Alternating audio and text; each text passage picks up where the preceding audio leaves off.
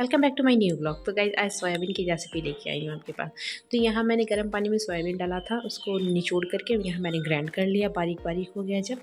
तो यहाँ मैंने लिया प्याज बारीक कटा हुआ थोड़ा सा मैदा है, आधा किलो मैदा उसमें थोड़ा डालना है मुझे।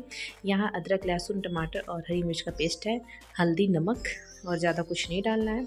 और इसको मैंने इसमें डाल के, और दही हो तो और अच्छी बात रहेगी, उसे अच्छे से मिक्स कर लेना। मिक्स करके छोटा छोटा बॉल बना करके इसको तेल में फ्राई कर लेना है। और फ्राई करने के बाद सच में आप चाहो तो पकौड़े की तरह भी खा सकते हैं टोमेटो सॉस के साथ, किसी केचप के साथ ना खा सकते हो, ठीक है? ऐसे मुझे इसकी सब्ज़ी बनानी थी। तो यहाँ मैंने देखिए, पूरे रेड रेड लाल लाल अच्छे अच्छे पकौड़े मैंने निकाल लिए इसके।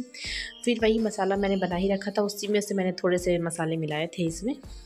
उसके बाद थोड़ा सा तेल लेना है हींग मेरा जो रहता ही है मैंने इसमें पचफोरन डाला है और जो भी मैंने मसाले का पेस्ट बनाया था उस पेस्ट को डाला है। यहाँ डाला है मैंने कश्मीरी लाल मिर्च गरम मसाला सब्ज़ी मसा, मसाला का पाउडर है दोनों।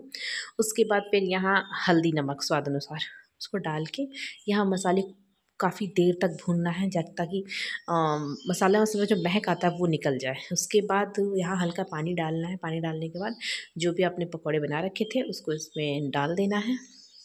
डालने और थोड़ा अच्छा बॉईल कर लेना है। जब जैसे खोलने लगे तो गैस फ्लेम बंद कर दीजिए तो हमारी सब्ज़ी तैयार सोयाबीन का।